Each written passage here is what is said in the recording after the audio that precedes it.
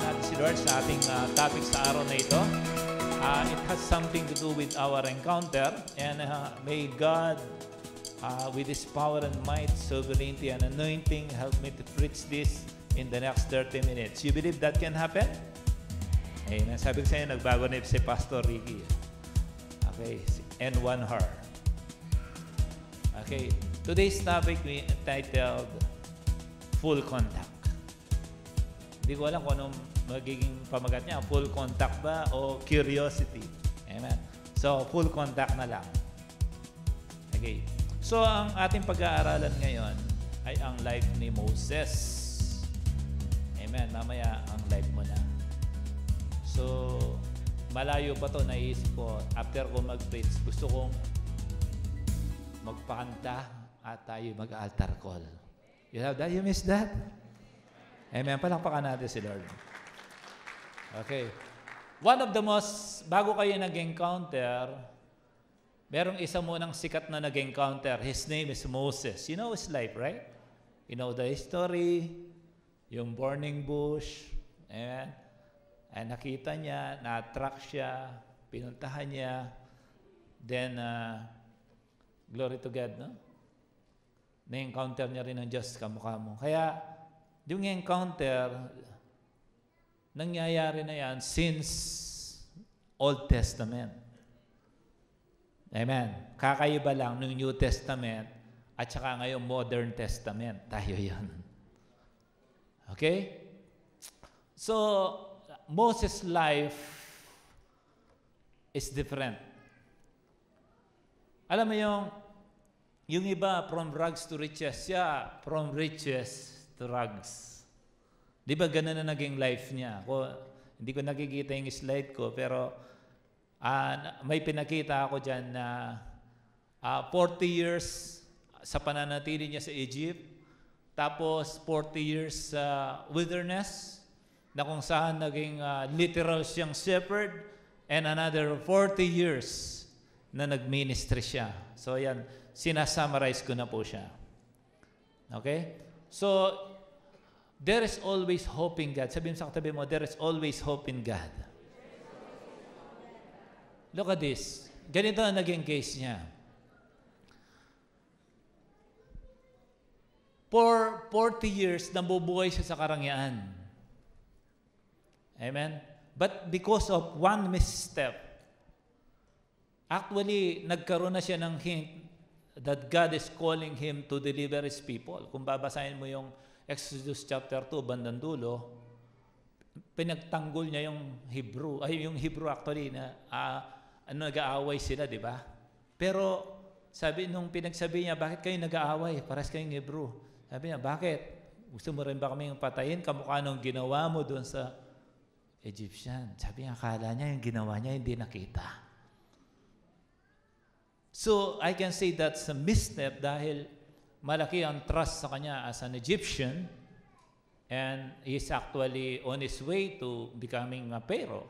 Kasi uh, maganda yung record niya. Amen?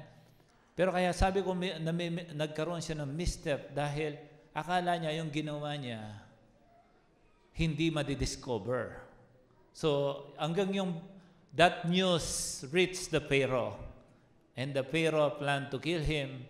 That's why he need to run away at nakarating siya, amen, sa wilderness, sa Midian. Amen. Alam niyo yung story? Nagkaroon tuloy siya ng asawa. Kaya yung iba nagkaroon ng misstep, nagkaroon ng, after na, mag, magkaroon sila, uh, makaranas sila ng misstep, nagkaroon ng mistress.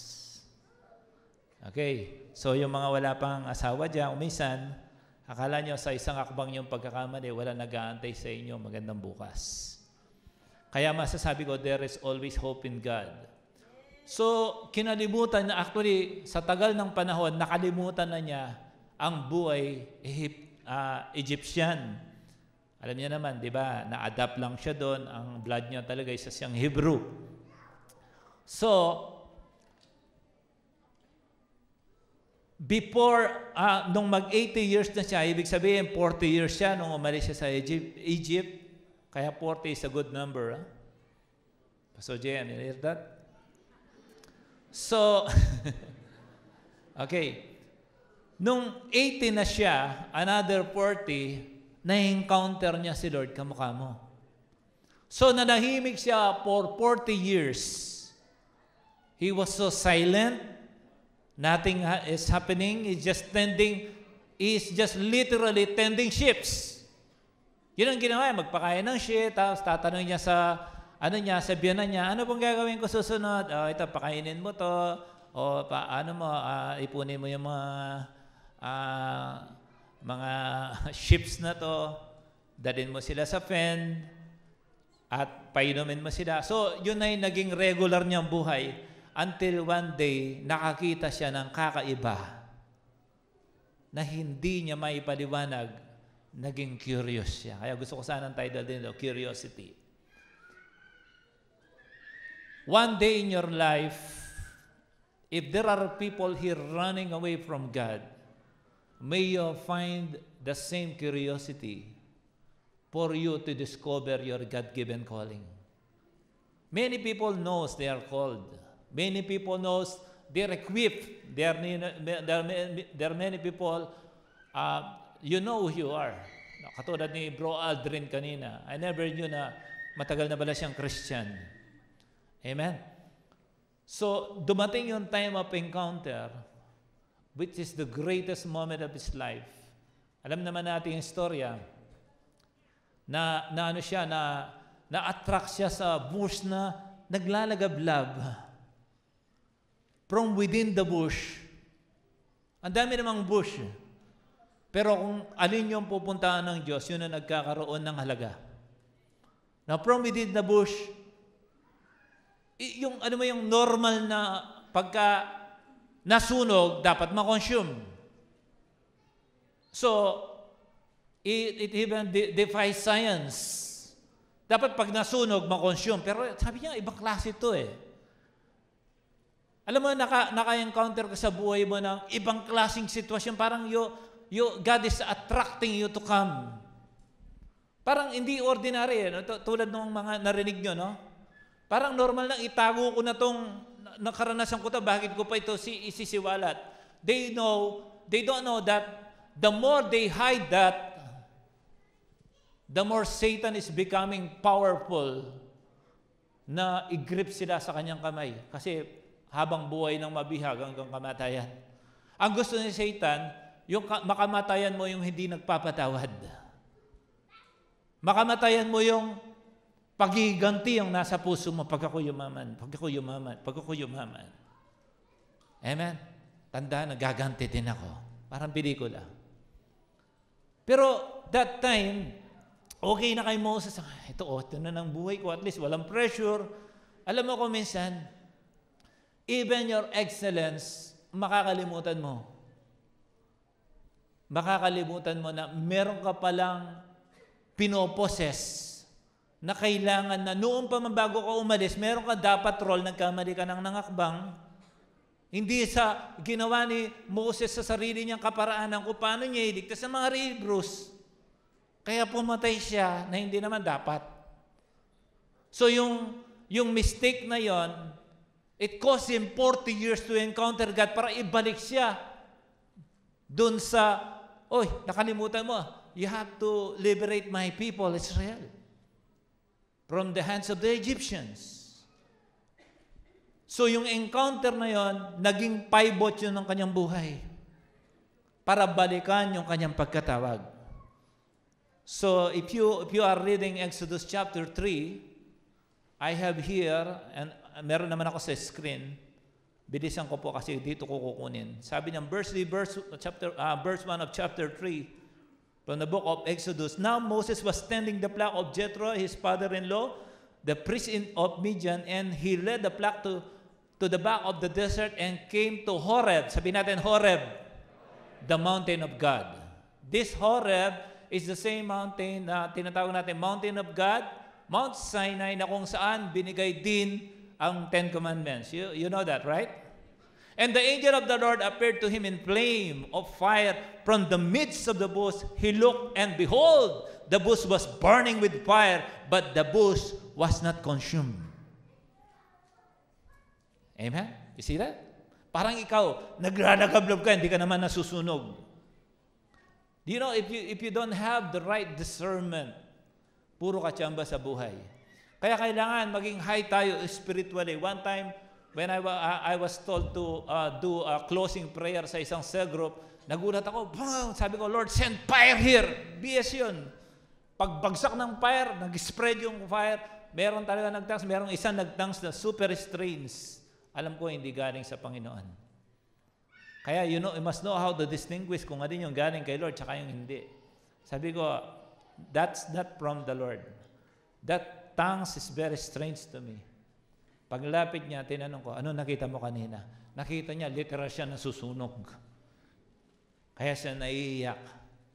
Amen. Ang tawag ko doon, uh, uh, unauthorized fire. Strange fire. Amen nung, nung uh, tinanong ko siya, ano nakita ko? Wala, nakita ko talagang apoy. Hindi yung apoy na, ano yung parang masusunog na siya sa impyerno. Kasi alam ko, hindi naman talaga, talaga siya Christian. Amen. Anyway, balik ko dito sa bush. Parang ikaw na, naglalagablab ka, hindi ka naman nasusunog. Kaya ka napapansin. Tama po ba? Pumasyal ka, kahit saan ka pumunta, mag-travel ka, hindi mo yan napapansin. Ang dami mong dinadaan ng bahay. Pero pag isang bahay nasunog, usapan. Tama? Tama ba? Ay, may nasunog doon, may nasunog na factory, may nasunog na kaya, may nasunog na bahay. Pinag-uusapan, basta may apoy. Tama po ba? Kaya yung mga nag-encounter na yan, matindi mga impact niyan. Iba, post-pandemic. Can I say that? Post-pandemic, tapos na ang pandemic in Jesus' name. They are the post-pandemic delegates. Amen? So you must know your role. May gagawin kayo. Bakit kayo naglalagablab ngayon? And the angel of the Lord appeared to him in flame of fire from the midst of a bush. So he looked, and behold, the bush was burning with fire, but the bush was not consumed. Then Moses, I will now turn aside and see this great sight, why the bush does not burn. So magkakaroon ng attraction. Minsan, alam mo yung merong contradiction sa normal na dapat masunog. Hindi. Ay may mga bagay na para may abnormality pero magkakaroon ng kanang question kay God, bakit nangyayari sa akin ito? Bakit ako meron ito? So he started to approach God. You don't know na unti-unti ka na pala niyang ina- nilalapit para makuha niya ang attention mo para makausap ka niya. Sino dito mas on fire siya pag may problema siya. Mas on fire siya sa panalangin kapag may sakit siya.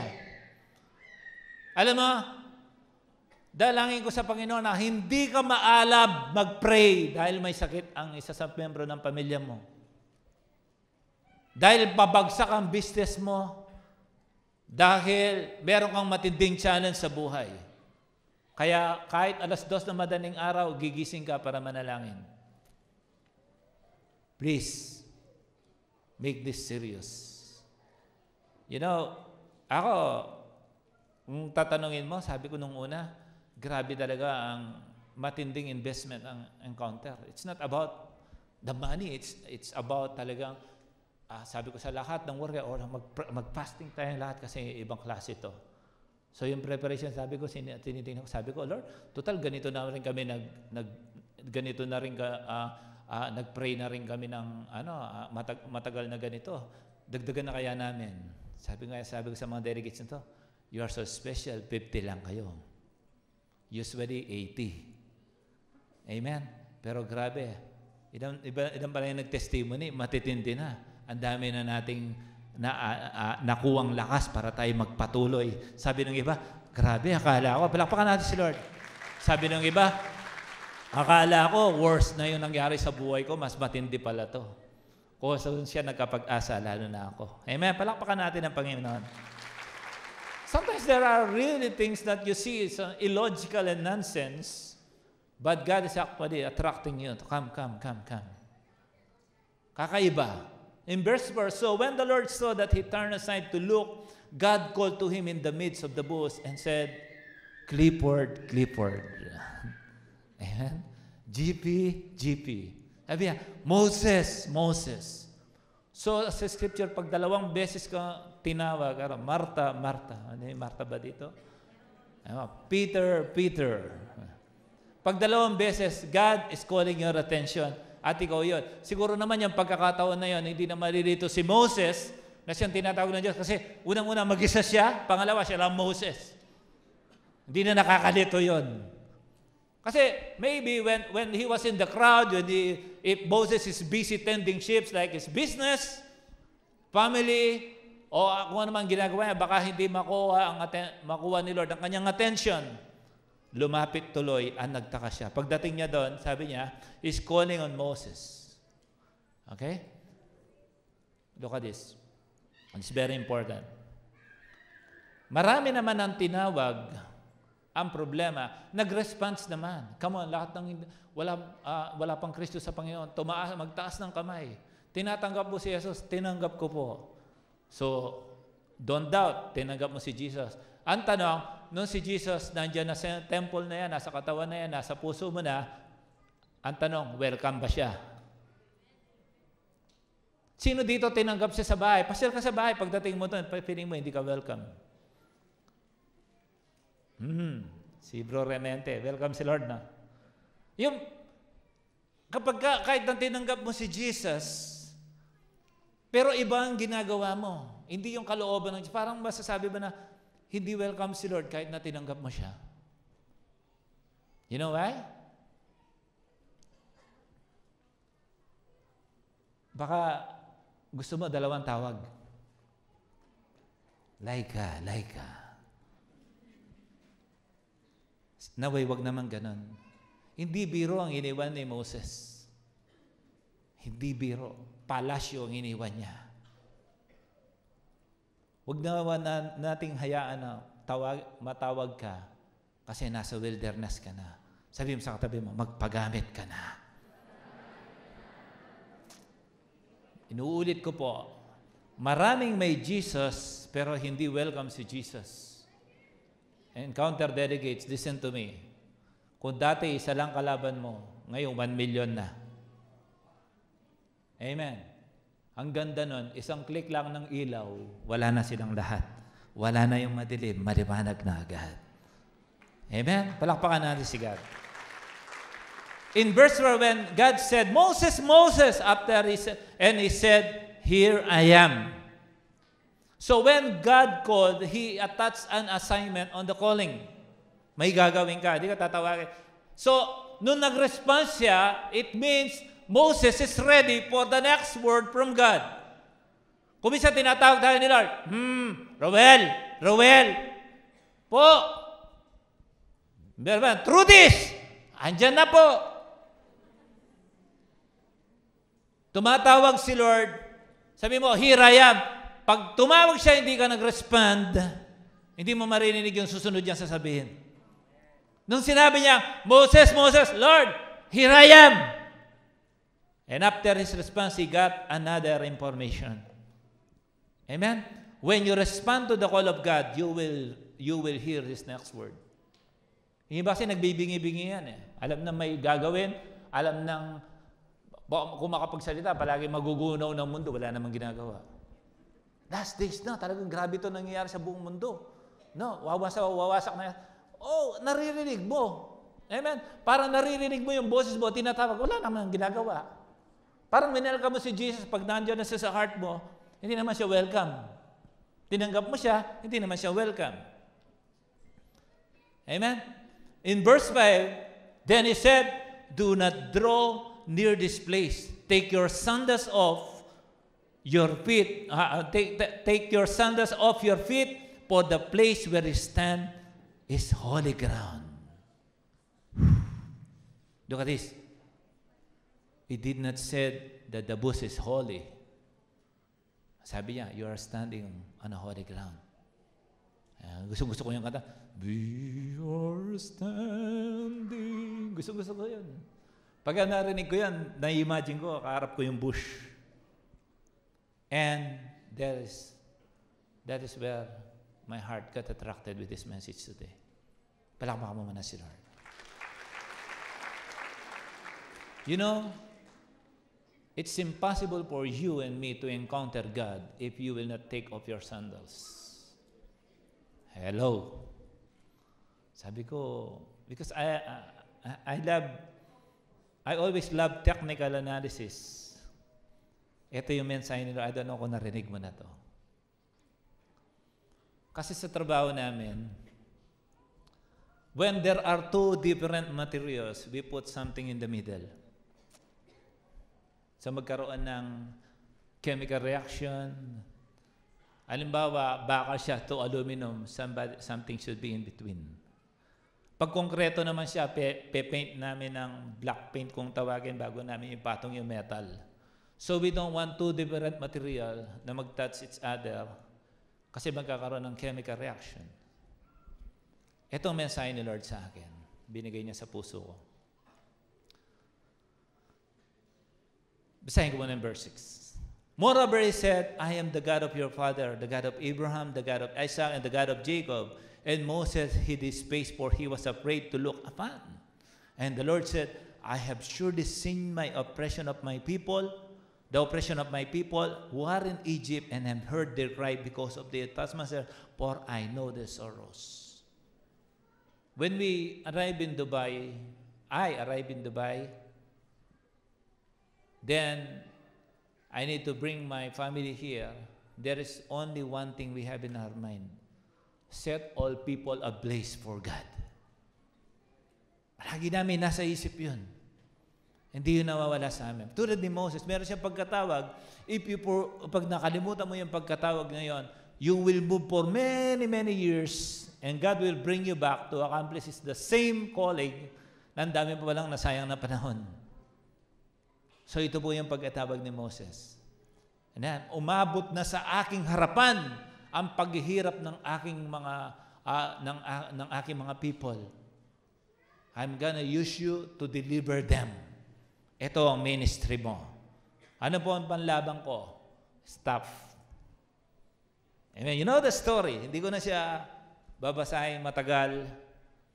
Pero yung verse 11, sabi niya, But Moses said to God, Who am I that I should go to Pharaoh, that I should bring the children of Israel out of Egypt? Wow. Na-COVID. Before lockdown, what are you doing? Before lockdown, how busy you are in the ministry? Anong ginagawa mo?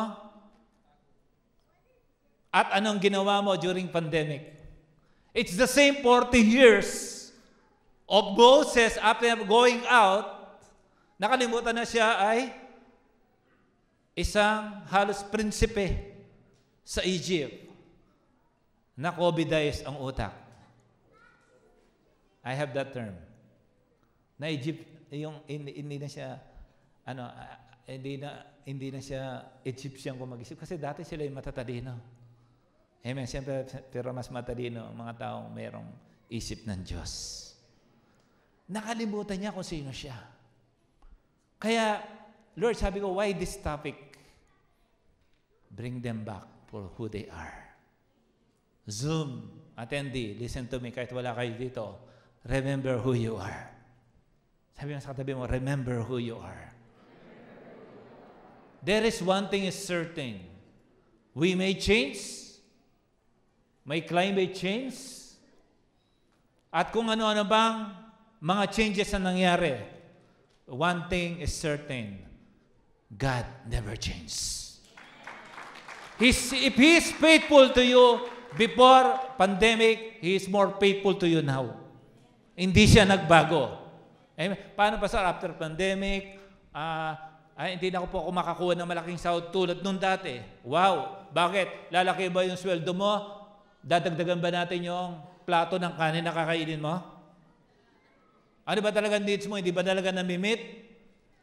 Jesus can always satisfy you. He can always supply your need. Basta magpa, magpasakop ka lang sa Kanya.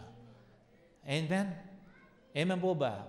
Kasi, hanggat hindi mo nakukuha yung encounter kay Lord, na kahit hindi ka pa mag-EGR, you have to establish yourself with this.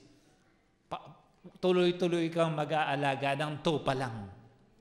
Hindi mo makikita yung supernatural move ni God kapag hindi ka nag-graduate sa pag-aalaga ng lupa. Balik ako doon sa kanina. So, sabi ko kay Pastora, maghuhubad ako ng sapatos ngayon. Huwag na yung medyas. Imaginein mo na lang, wala akong medyas. Kasi baka magulat ka sa ganda ng paa ko. Question is, kaya ko sinasabi kanina, there is something in between two different materials. Can I also say this thing? Sabi niya, ba't niya pinaalis ang sandals? Any hint? Sabi niya kanina, where the ground where you are standing is a holy ground. It means, yung full contact ng kanyang katawan, yung pagiging Moses niya, namamagitan ng isang sandalis na kung saan saan pumunta. Hello? Ang tawag ko sa construction doon, sim, shims. Meron designer ng passage dito, I know. May shims in between. Amen? Yun ang, yun ang magbe-break. Kaya kung kahit nandito yung kuryente, pag meron ito, pag ganun ko, hindi ako makukuryente kasi may namamagitan. Tama ba? Kaya kung minsan ang ilaw, hindi masindi-sindi, kaya either putol o meron something in between na hindi nagko-connect sa dapat na daloy ng kuryente upang yan ay umilaw. Amen? Grabe, kahit anong dikit ko dito, hindi ako nakukuryente kasi namamagitan ng table na to. So ito na po ang mensahe. Bago na-encounter ni Moses si God sa burning bush, sabi niya, hindi nga nakatingin nun, nang sabi niya, I am the God of Abraham, Isaac, and Jacob. So doon na siya lumuko. Hindi ayaw na niyang tumingin. Kasi harap niya, humaharap siya sa Diyos. Pag tumingin siya, alam niya mamamatay siya. Yun ang rule. Eh. The question is this. Ano na namagitan sa iyo at sa holy ground na dapat na tinatayuan mo? Don't wait for batch 28 for you to encounter God. You know what is in between. Alam mo kung ano ang sandals na dapat hubarin. Lord, bakit hindi na kita maramdaman? Friend, kahit kalyo pa lang, alam mo naman.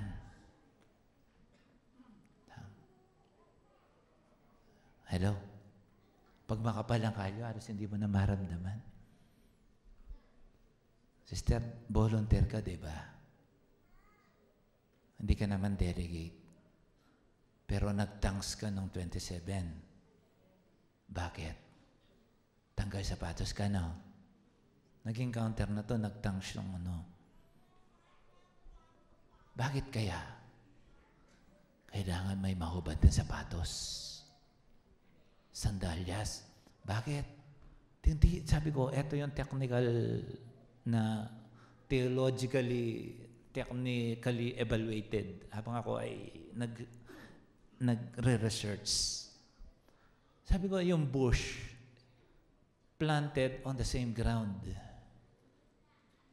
Ay sabi niya, maharap ka sa akin, at kung saan ka nakatayo ngayon, yan holy, hahubarin mo para ikaw magkaroon ng contact sa lupang yan na pinabanal ko. Yung sagabal na sandas na yan, tanggalin mo. Kasi kung saan ka nakatayo ngayon, na dapat may contact ka, yan ay banal. Hubarin mo. Sino dito gusto maging counter? Can I have the band here?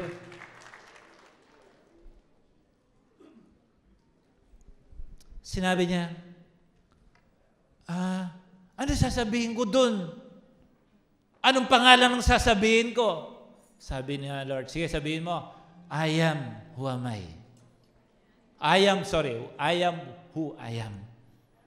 Anong ibig sabihin nun? Wala akong ibang kailangan. I don't need people's input. I don't need money of people. I am who I am. He defined himself by himself. Si Pero, may pangalan siya, pero iba ako. Basta pumunta ka doon. Can today, for you to encounter the same God who said you are standing on a holy ground. Huwag mo na, huwag ka na mag-ubad ng literal na sapatos.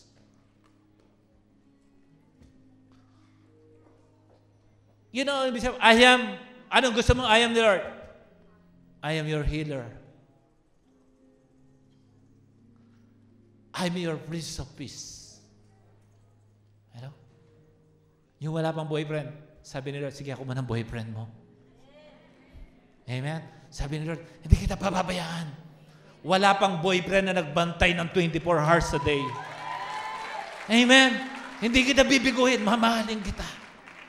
Kahit sa paglipat mo sa dahan, hindi mo alam. Hindi, kung, hindi man ako, pero papabantayan kita sa aking mga anghel. You will be encamped with angels. Saan kakitang ganon? Dugtong mo nga, ah, sabi ni God, I am, I am what? I am your source. Hello? I am your provider. I am your Jehovah Jireh. Ano pa? Dugtong mo nga yung I am na kailangan mo. I am, ano kailangan mo kay Lord? And God, God is sending the same message to all of you. But to have that purse, you have to remove your sandals. Alam mo kaya hindi ko ma, Lord, hindi kita maharamdaman. Alam mo, doon sa likod namin dati, may patay na ilog doon eh. Bago namin limasin yung inukay namin, ma, hinukay pala. Hinukay na mala, ma, ma, malaking, gumawa kami kung tawagin namin, limasin. Bago na kami magpagod, nang alisin yung tubig noon, aalamin namin, sisiguraduhin namin may dalag. Ganun-ganun paa namin. Pag may medyo nakapa yung paa namin, ah, meron. Doon namin lilimasin yun. Kung minsan hindi mo na, hindi mo na makapa si Lord. Kung minsan naman, wala ka na talaga sandals, pero baka pa na yung kalyo. Ay ba, spa natin. Ang ganda naman narinig yung testimony, no? Ang tanong naman ngayon, kumusta ka? 50 lang sila, 300. 50 versus 300. 350 nga yung ngayon kung hindi ng daya. Pero mukhang sobra. Man, mukhang may nag-violate. At least hindi halata. Tanungin kita, kumusta ka? After ng pandemic, sana isang dalawa sanang oras pwede ako mag-preach. Pero iksiyan ko na lang. Kumusta ka na? You know, kahit na napalayo ng mapalayo si Moses, nag-travel siya ng pagkalayo-layo, hindi niya alam kung siyang pumunta, vicinity ng mountain of God yun. Kahit na feeling mo, napalayo ka, feeling mo, nawalan ka ng malaki, hindi mo alam, napalapit ka pala sa Diyos.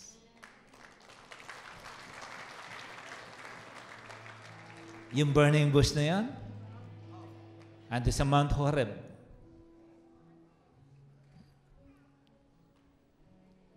Kaya, wag mong i-underestimate ang mga maliliit na bagay.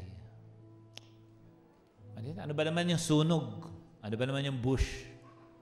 Pero gumagawa na palang paraan si Lord, ina-attract ka niya pabalik. You know, God is interested even in the small things of your life. He is interested. Tanong lang, bago tayo mag-iwaiwalay, bigyan kita ng isang tanong.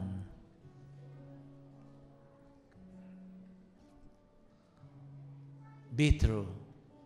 How do you really experience and feel God nowadays? For this is the I can say this is a less than two years of pandemic challenges. The question is this. Parang yun din yung 40 years mo. Are you still tending the ships? Are you still tending the ships?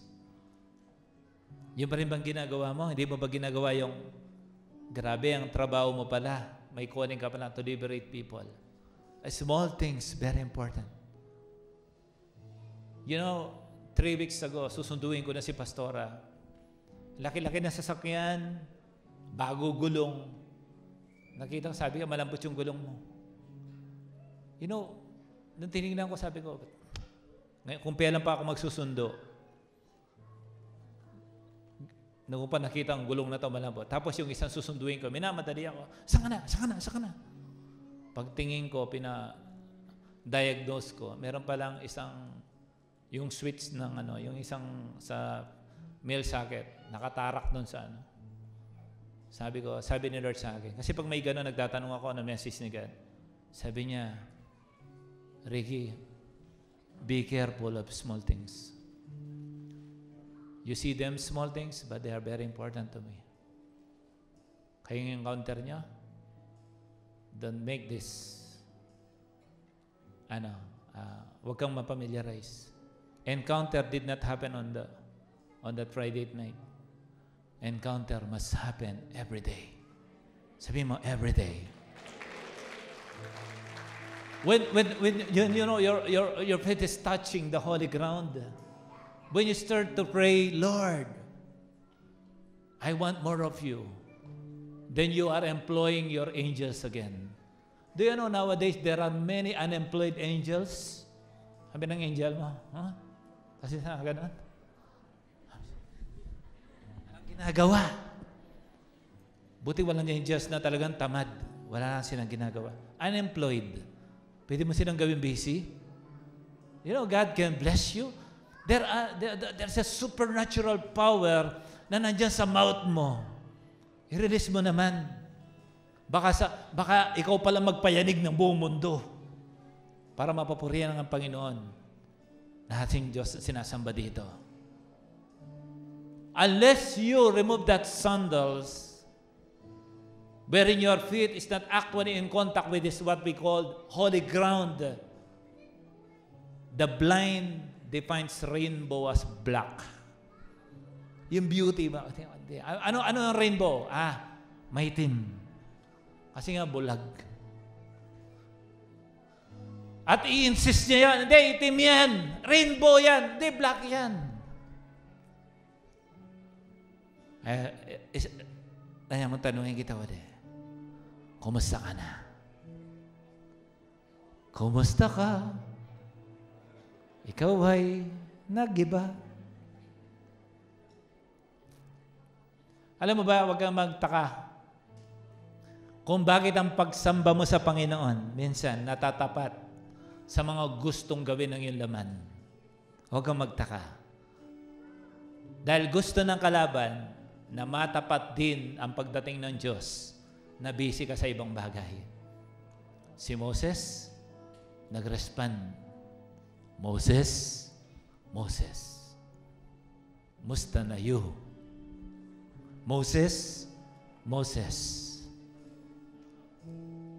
Po, andito ako. De pagsabi niya, narinig niyo yung next instruction.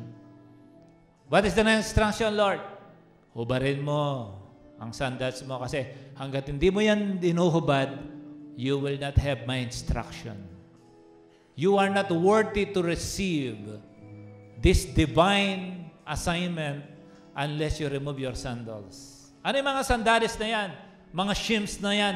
Mga separator na yan? Pangarap, pera, fame, babae, alak, sugal, sigarilyo, amen? Mundo. Kaya minsan, hindi mo makapa. Anong holy? Oh, walang holy. Grabe. Nahawakan mo na yung kuryente. Hindi ka pa na ano. Yung palang kalyo mo eh, 6 inches na. Pati dugo, wala nang dumadaloy. Do you hear that? Today, may God give you the divine instruction May you hear the heartbeat of God at marinig mo kung anong sinasabi niya.